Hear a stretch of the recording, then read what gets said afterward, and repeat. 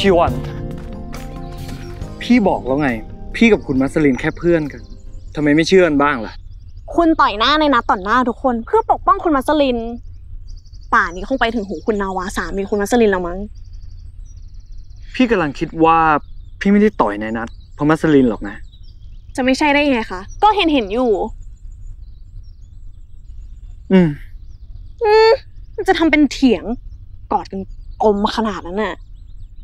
คุณนะ เมื่อก่อนเป็นคนใจเย็นนิ่งๆ หมู่นี้เป็นอะไรไปพูดก็พูดเถอะ พรชีวาน่ารักกว่าคุณมัสลินตั้งเยอะเดี๋ยวเดี๋ยวเดี๋ยวเดี๋ยวแล้วกอดกันกลมคืออะไร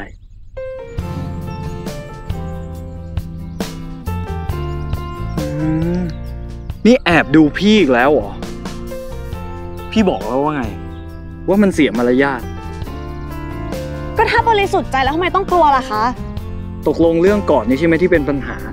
ไม่ใช่ค่ะ ชีวันไม่เคยเป็นปัญหากับคุณ แต่คุณต่างหากกำลังจะเป็นปัญหากับนายนัท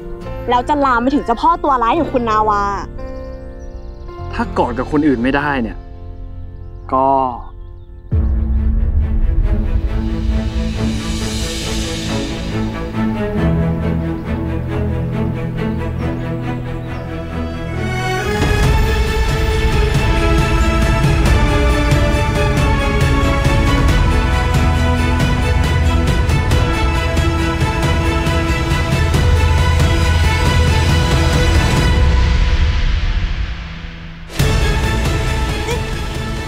คุณทำอะไรของคุณเนี่ย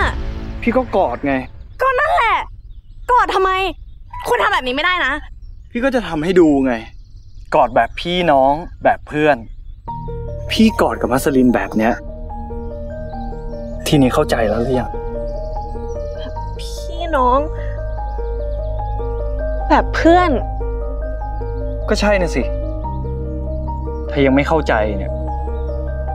อีกรอบก็ได้นะ โอ้ย พอหยุดหยุดอยู่ตรงนั้นเลยค่ะ เข้าใจแล้ว เข้าใจเป็นอย่างดีอืทีหลังอย่าทำแบบนี้กับหนูอีกนะ ไม่งั้นหนูหนูจะฆ่าคุณจริง ๆ ด้วยแอป CS 3 Plus ดูสดและย้อนหลังฟรีได้ที่แรกดาวน์โหลดเลย ไม่อยากพลาดละครสนุกกด subscribe ไปไว้นะคะ